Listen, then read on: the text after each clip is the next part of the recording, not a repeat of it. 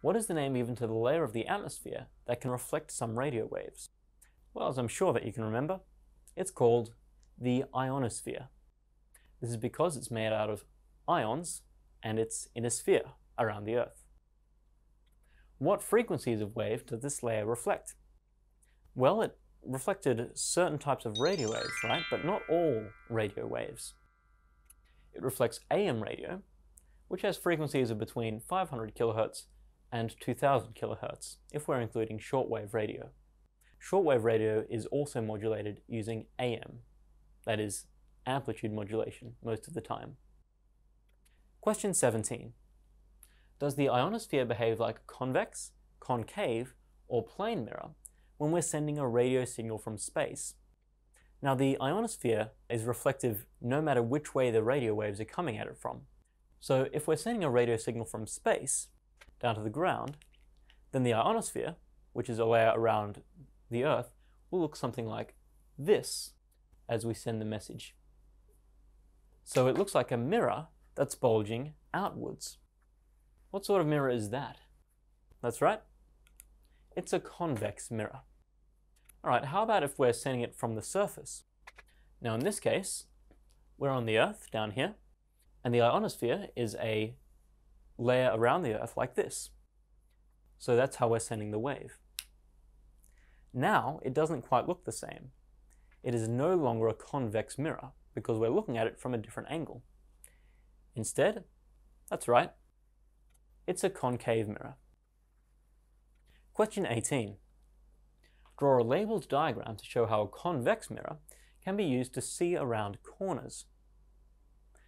One of the useful applications of convex mirrors, of course, is that they can see a much wider field of view, and so can show you around corners even if you are unable to see them yourself. So our diagram might look something like this. We can see that we have a convex mirror and an incident ray from this part of the corner. The incident ray is being reflected from the mirror down to over here. This means that if we're looking into the mirror, then we can see a wide region of space in this part of the alley instead of a relatively narrow region if we had a plane mirror or a concave mirror. The other thing, of course, is that from this part of the mirror, we'd be able to see the street that we're currently standing in if we're over here.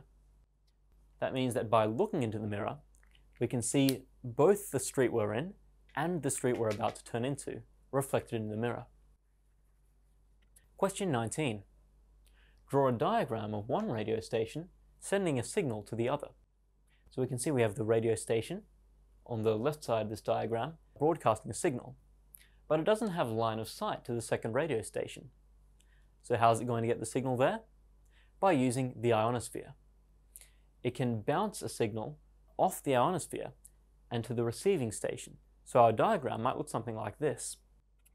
We can see that the radio signal emits, the radio station emits a radio signal that moves out towards space, bounces off the ionosphere like a concave mirror, and reaches the receiving station.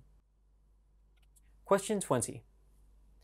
Is it possible to send information around the world via radio waves at frequencies that do not bounce off the ionosphere? That is, is it possible to send television or FM radio around the world without having line of sight to your receiver? The answer, of course, is yes, but not purely by sending radio waves. We need to send radio waves to satellites in space that can then retransmit the radio wave down toward a receiving station. This is, of course, how satellite TV works. So when the signal can only be sent through line of sight, the satellite's able to relay the signal.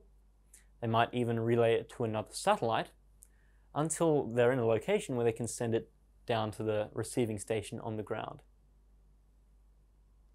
So that's the end of the questions, which means we're now at the end of the lesson. So that about does it for reflection. We've learned about plane mirrors, concave mirrors, convex mirrors, and even the ionosphere, which is able to bounce certain types of radio wave. In the next section, instead of looking at how light reflects from mirrors, we'll be looking how light can be transmitted through the boundary between two media.